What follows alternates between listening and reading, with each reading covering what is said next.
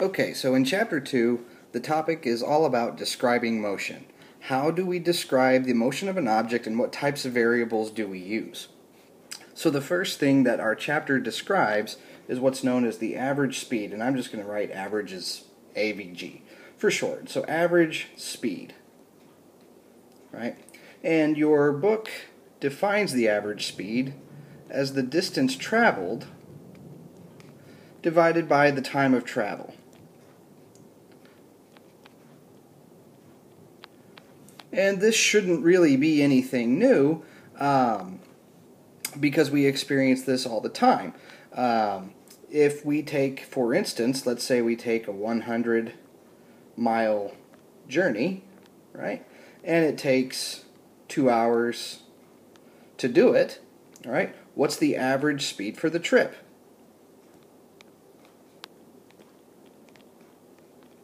All right, what's the average speed for the trip? Well, just plugging in our formula there, whoops, AV, the average speed is just going to be our distance of 100 miles divided by 2 hours.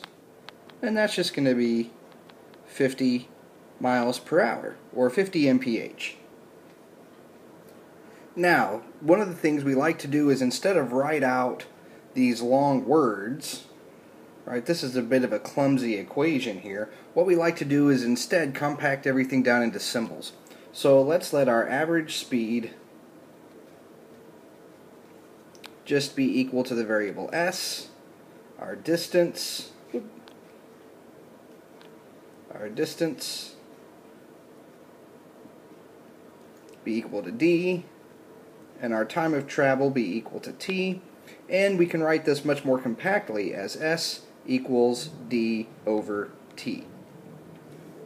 Alright, so here's our formula for our average speed. Now, what do we mean by the word average? Let's just talk about that for a second. So, average, when we're talking about the average speed, again, uh, this word average is simply just talking about the total distance that you traveled divided by the total time it took for the uh, trip to be taken. Now, let's contrast this with another notion called the instantaneous speed.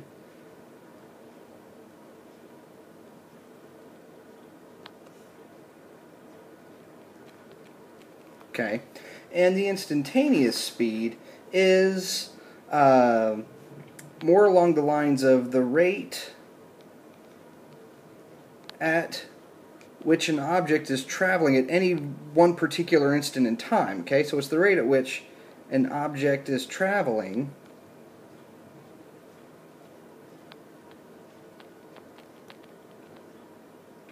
at any given instant. Okay. Maybe that's a good paraphrase. At any given instant. Right? And so, if you want to think of the difference between average speed and instantaneous speed, okay, so average speed would be the type of speed that you calculate if you uh, use your odometer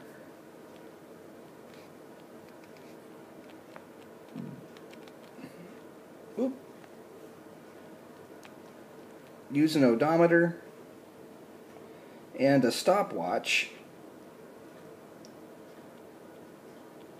So let's say you're taking a trip, and it can really be anywhere, and you hit the uh, reset button on your odometer, and you start your stopwatch, and you start your stopwatch right when you start uh, your car moving, and you travel some distance, and that's clocked by your odometer, and you uh, do it in some interval of time, and that's measured by your stopwatch and the dividing uh, div division of those two, the odometer divided by the stopwatch, would give you your average speed. Now your instantaneous speed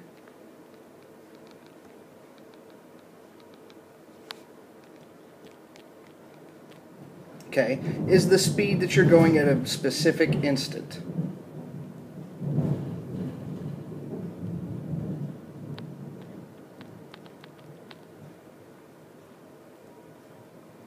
So this would be the speed measured by, say, a uh, radar gun.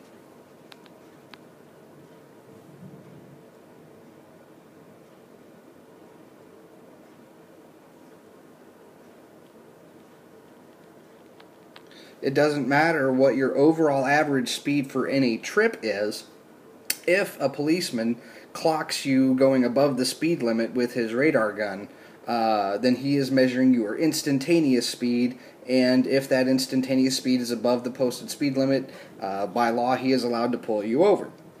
Right, so instantaneous speed is the speed that you're going at any one specific instant. Okay. Now, in higher uh, levels of physics, we have nice formulas for the instantaneous speed. At this level, without the use of calculus, we really don't have a good way to talk about the instantaneous speed. So we will not do too much uh, with the instantaneous speed mathematically all right. Uh, but for almost all of our purposes, when we're talking about the term speed, we will use the average speed and we'll use the formula S equals D over T. Okay? So, that's all about speed, and uh, again, it is simply the rate at which you're traveling. Now, there's another term that often gets confused with speed, okay?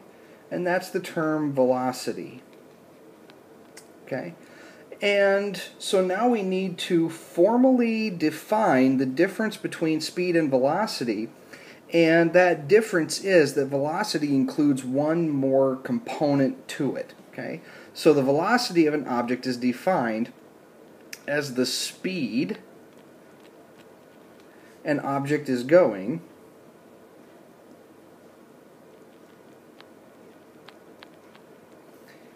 and the direction it's traveling in. Sometimes we call this the direction of motion. Okay, so it's the speed an object is going and the direction it's traveling in. Okay, so that is what the term velocity means. Now, mathematically, okay, we don't, again, at this level, really have a good way to take this whole direction idea into account um, so it, it's uh, more or less for our purposes, the velocity will also be equal to the distance over the time. And this is valid, okay? This formula is valid for one-dimensional motion. Okay, so if an object is moving in a straight line and its direction isn't changing, then the only uh, quantity that we need to be worried about is the speed. Okay, so for one dimensional motion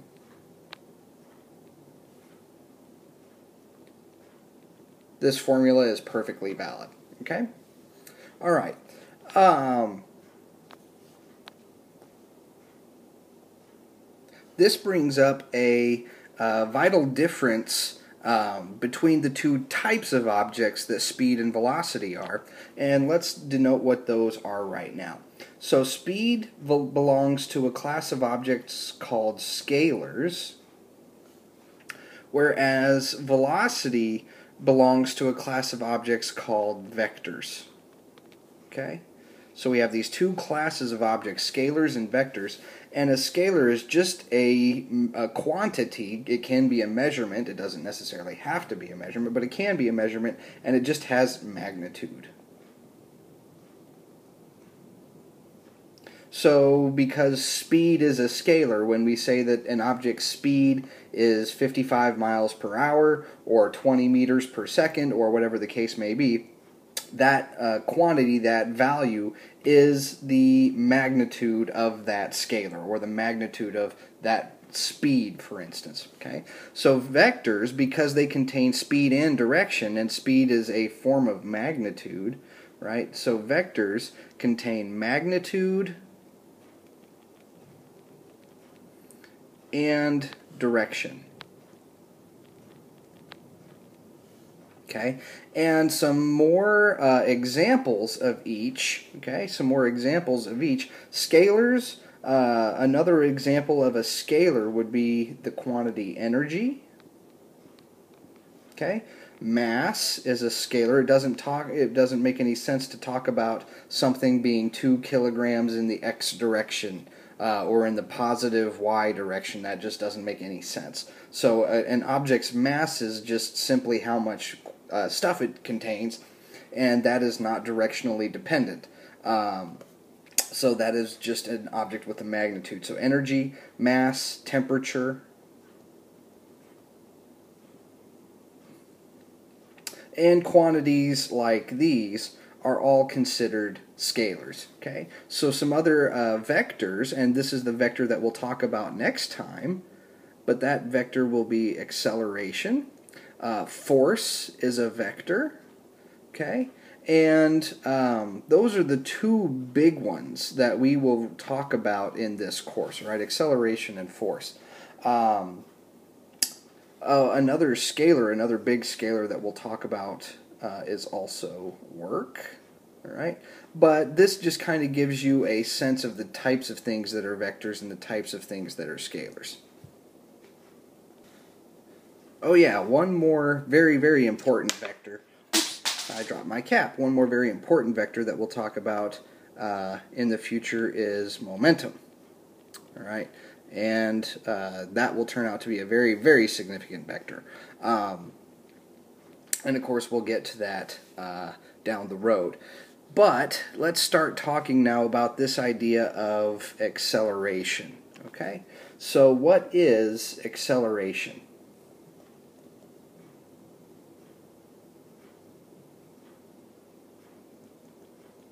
Right? So, acceleration the verbal definition of acceleration is simply a change in speed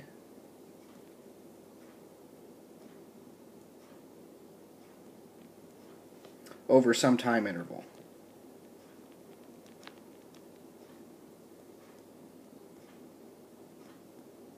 Okay. Now, there's a very specific uh, caveat with this definition of acceleration. Again, okay, this is for one dimensional motion.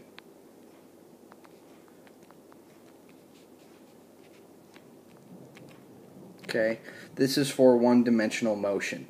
Um, if we were going to be a little bit more specific, and we will use this definition later on, okay, the more general uh, definition of acceleration is a change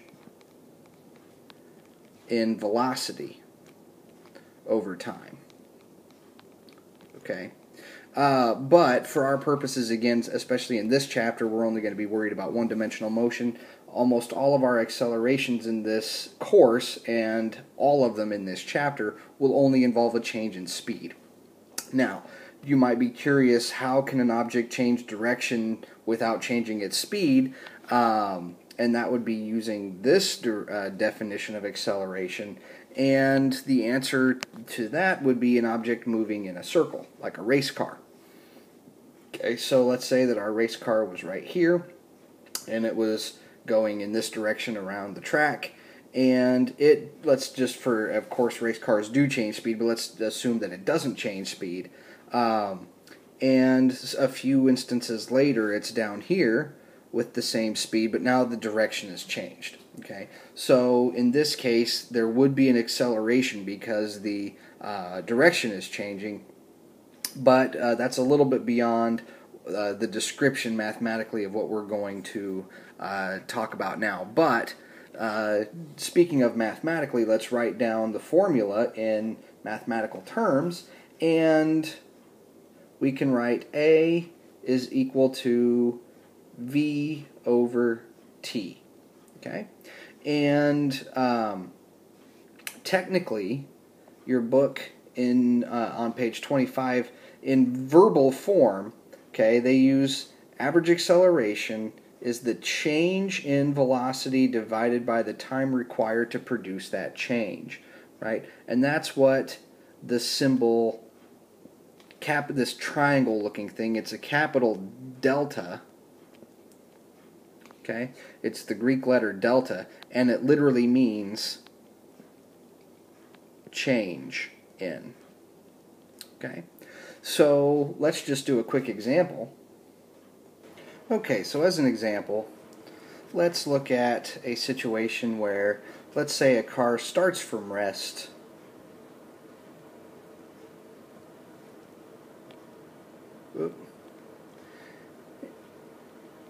and achieves a final speed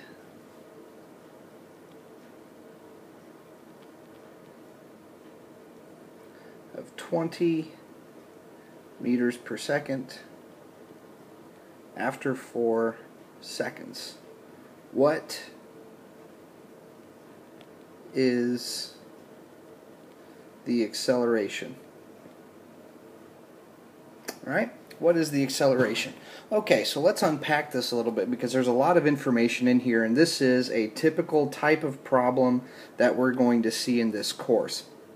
Right, so first things first, we notice that the car starts from rest. Right? So anytime you see this phrase, starts from rest or from rest or goes to rest uh, or something of that nature, that's telling you something about the velocity. So if it starts from rest, that tells us that the initial velocity, or VI, is going to equal 0. And I'm going to put 0, 0.0. And then it achieves a final speed of 20 meters per second. And we can say that the final speed, or the final velocity, and again in one dimension, uh, as long as you're moving in one dimension, they're the same thing, uh, 20 meters per second, and we technically need our meters per second here. And our time interval from the time that it starts from rest, as soon as it starts to press on the accelerator, right, as soon as it steps on the gas, after four seconds, it's then going 20 meters per second, so the time interval is four seconds. And we want to know what the acceleration is, right? Now, notice what I've done, okay? This is how you should attack all of your problems. Okay? What you want to do is go back to the problem and pull out all of the information and correlate that with your symbols. Okay? So then you can list your symbols as I've done here, right? And this gives you a very powerful way of looking at your symbols. And once you have your symbols, you can then look and see what equation or equations you need, right? And uh, so we're given that the object starts from rest, and that's our uh, initial velocity. We're given that the final speed, or VF, is 20 meters per second, and after 4 seconds, that's our time interval. And so now we've compacted all of the information from this long word problem into four symbols VI, VF, T, and A. And because I have the question mark by A, or that's the quantity we're looking for, I now need to look for an equation or equations that have this value in it along with these other values. And of course, the equation that we need is just the definition of acceleration, this delta V over T. And what the delta V, this change in, means. Okay, so this change in V technically means, right, when we're talking about a change in, we're talking about a, a difference. So I have some final quantity and I'm subtracting my initial quantity from it. So for delta V, I'm going to be taking my final velocity minus my initial velocity. Okay, so I can technically write acceleration as VF minus VI all over t. Okay? All I've done is plugged in this right down here, which took the place of this via this equals sign right here. Okay? So because delta V equals VF minus VI, I can plug that in, and we have that. So now I have everything that I need, and I can start to now plug in my numbers, and I can say A is going to be equal to 20 minus 0, and all of that's going to be in meters per second, divided by 5, or I'm sorry, divided by 4, I got ahead of myself, divided by 4 seconds, and that gives us a final answer of 5. And what are my units? Okay, so meters divided by seconds divided by seconds, right? So this is meters divided by seconds divided by seconds, or meters times 1 over seconds times 1 over seconds, and that gives me meters over seconds squared. Right? So this is going to be 5 meters per second squared. Right? So your accelerations are going to be given in units of a distance over a time squared. Okay, that's the definition of the units of acceleration, a distance over a time squared. All right? So now we have the appropriate units on the right hand side of the equation that correlate with the quantity we're looking for, and we can justify this formula partially based on that argument that our, our units are correct. So that brings up a very good point uh, whenever you're working out problems, your units must agree.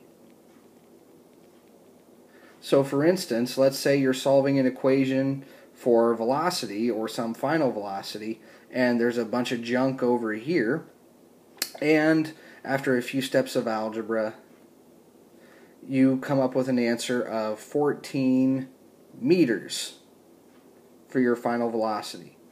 You know you've made a mistake somewhere. Either this initial equation that you set up was wrong, or there was an error somewhere in here in your algebra.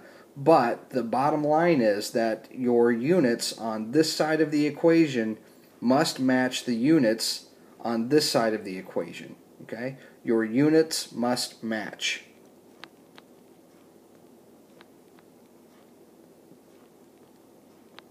Or else the equation is wrong. And the best way to the, the place to attack this is in your very first equation. Okay? In your very first equation, look and see what the units are over here and make sure that they agree with the quantity that you're trying to uh, calculate over here. If those units do not match up, then you know that you have made a mistake in setting up your equation. And that can save you a lot of problems because if you realize this equation is wrong to start with, then you won't go through all of your algebra and then realize your equation might have been wrong. So you can save yourself a lot of grief if you check out your units uh, in your first step or two before instead of waiting until the very end. All right? Okay, so we'll do one more example uh, of using the uh, acceleration equation, and then I'll show you an example of how to uh, look at your units and make sure that they all match up. Okay, so now let's look at a situation where an object, whoop, an object starts from rest and accelerates at a rate of 3.0 meters per second squared for uh, 5 seconds. Okay. What is the final speed?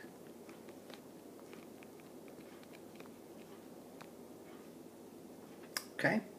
Um, so we have a very similar situation to what we did last time, except this time we're not solving for the final speed, we're solving for the acceleration here. Okay, so let's list out all of our information. Okay, so our object starts from rest, so we automatically know that our VI is equal to 0. Here we're given that the acceleration is 3.0 meters per second squared, and our time interval is equal to 5 seconds. Okay? And now we want to know what VF is. So now we need an equation that relates all of these variables, um, but instead of solving for the acceleration, now we're solving for VF. Well, it turns out that we can still use the equation we used before. Okay? So we can still use this equation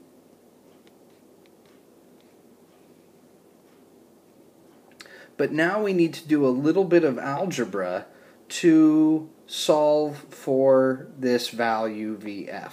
Okay? So the first step to doing so, we need to isolate VF by itself is to multiply both sides by t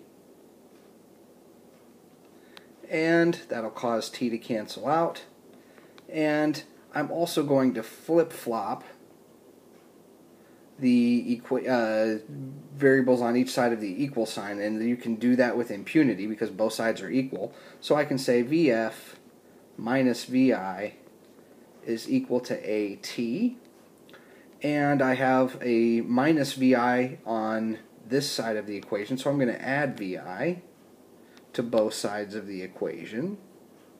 And this minus VI and this plus VI are going to cancel out and I get VF is equal to AT plus VI. Right? And now we can plug in our variables. Remember that VI was 0 and A was 3.0 and T, uh, let's, let's be consistent here. This is 3.0 meters per second squared. And T was for 5 seconds. And so this is going to be 3.0 meters per second squared times a time of 5 seconds plus 0 meters per second and that equals 15 well 15 meters per second. So after 5 seconds of accelerating at 3 meters per second squared, the object had a final speed of 15 meters per second. Right. So now let's do an example of how to uh, look at an equation and see if its uh, units on both sides of the equal sign are uh, valid. All right. Okay, so let's look at uh, a, a, very similar example. Uh, but let's say this time you were given uh, VF, A, and T, and you needed to solve so these were your givens. And you needed to solve for VI. And so you start with the equation A equals VF minus VI over T. And you do some algebra and you come up with the equation VI equals VF minus AT. Okay, so how can you determine what the units are on both sides of this equation? Right. Well, you know speeds are going to be, velocities are going to be given in terms of meters per second. And so the initial velocity will have meters per second, the final velocity will have meters per second.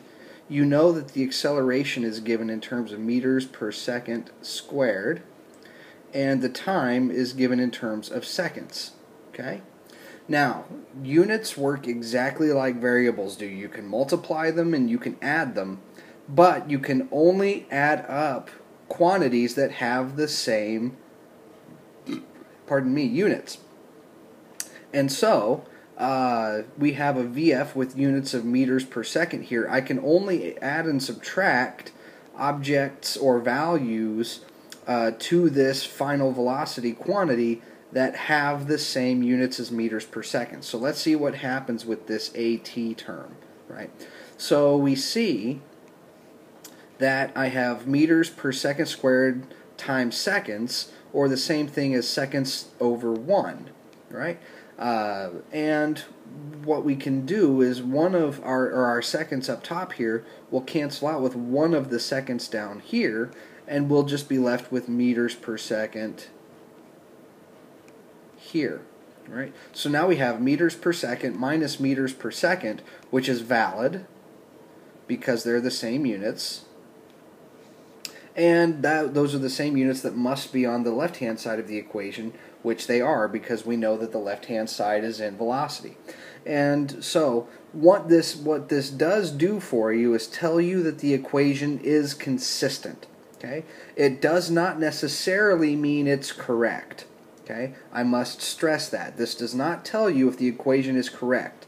But if your units did not boil down to being the exact same on both sides, then the equation is incorrect. Okay, uh, but an example of how the equation might have the same units but might not be uh, exactly correct is there could be, uh, say, a factor of one half in here sometimes, or maybe there's a factor of pi somewhere that you uh, accidentally forgot or uh, divided by somewhere. Uh, so constants like this, like factors of one half, factors of two, uh, pure numbers, uh, whether they be real uh, whole numbers um, or uh, numbers like pi, irrational numbers that just go on forever, those types of numbers do not carry units with them. Okay, so if a, if a factor of two crops up in your derivation, that number won't have a unit with it. So if you forget those, then the equation might not be exactly correct, but if the units are not right, then the equation is definitely not correct. Okay, so this gives you a good way of once you get your equation set up uh, to determine whether or not the units, uh, or uh, gives you a good first step in determining the validity of the equation. All right, that's enough for now, and next time we will look at graphing and how to determine the distance of an object. Um, given a uh, either an initial velocity or, or a, a, uh, final velocity and then also an acceleration and a time all right and we will more formally talk about what this idea of acceleration actually means as well all right so we will see you next time and goodbye until then